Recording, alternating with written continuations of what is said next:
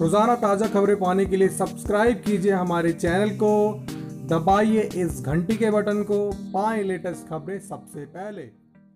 तेज हवाएँ लेकर आई मानसून की बारिश। जमकर बरसे बादल देखें वीडियो जबलपुर।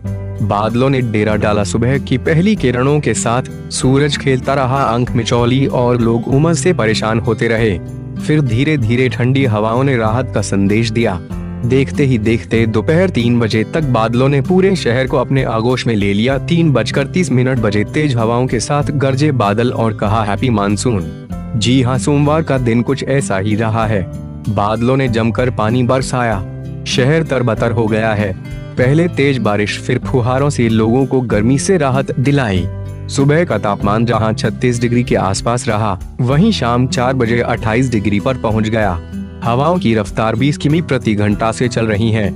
मौसम विभाग की माने तो शाम तक जोरदार बारिश हो सकती है।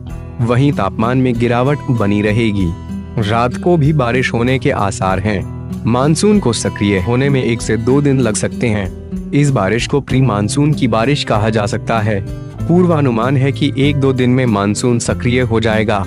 इसके बाद 15 से 20 जून के बीच तेज बारिश हो सकती है। अभी दक्षिण पश्चिमी हवा के माध्यम से मुंबई में हो रही मानसूनी बारिश की नमी आ रही है। इससे रिमझिम बारिश हो रही है।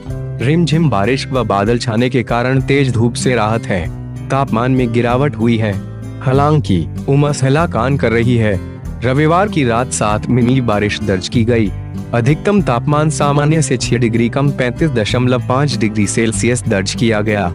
जबकि न्यूनतम तापमान सामान्य से तीन डिग्री कम चौबीस दशमलव चार डिग्री सेल्सियस रहा। सुबह की आर्द्रता अठहत्तर और शाम की आर्द्रता छप्पन प्रतिशत रही। प्री मानसून सीज़न में एक जून से अब तक 36 मिलीमीटर बारिश दर्ज की जा चुकी है। मौसम विभाग के अनुसार बंगाल की खाड़ी से निकले बादल छत्तीसगढ़ में ही है। हवा की गति बढ़ने से वे आगे बढ़ेंगे।